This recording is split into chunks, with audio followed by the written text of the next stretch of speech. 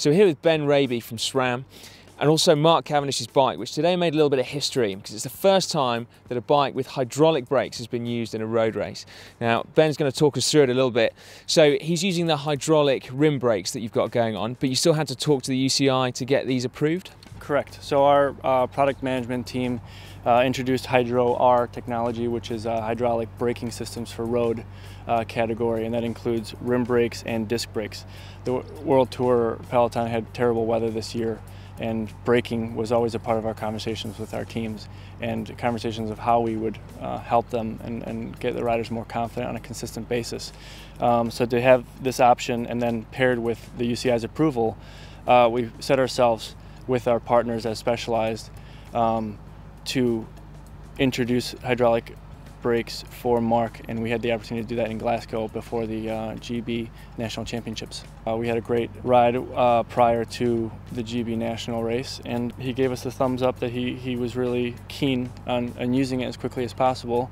He noted, he noticed a huge change in, in the engagement and, and, the amount of um, less power you have to engage on the brake lever to get the same amount of power you need to, for high-speed braking. This is a completely sealed system, so the braking performance from the start line to the finish is always going to be same, the same for them, you know, and, and that's huge.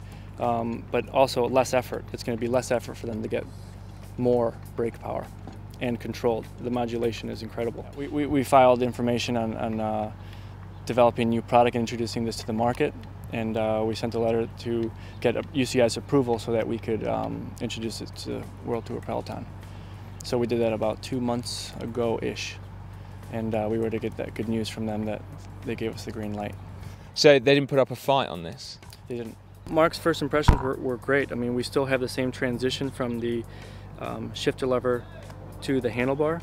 Um, the biggest change, as you can see, is just the, the, the taller uh, bump area, which hoses the uh, master cylinder. Um, also, with the added power that you increase with the hydraulic uh, braking system, is being able to brake more from the hoods and have that power that you get from being in the drops.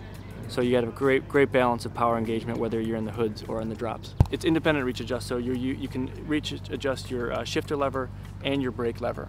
Um, also, on the brake caliper itself, you still have the micro adjust, which is similar to um, our current system now, and you can open and close it uh, for those quick uh, tire changes. These shifters are one-off, something.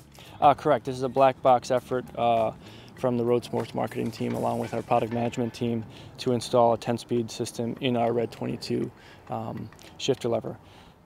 So, because Mark is obviously still running 10 speed, the whole of his team's on 10 speed, but next year these are going to be 11 speed. Correct.